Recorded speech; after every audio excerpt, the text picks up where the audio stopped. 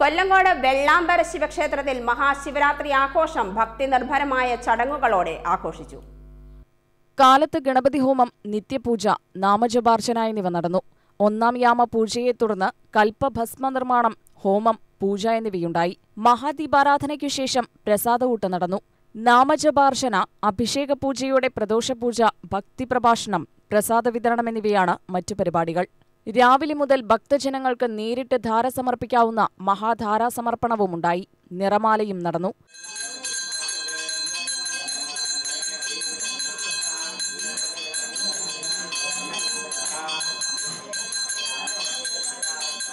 ഗുഹൻ ഗുരുക്കളുടെ മുഖ്യ കാർമ്മികത്വത്തിലാണ് ചടങ്ങുകൾ നടന്നത്. U T V news Palakkad.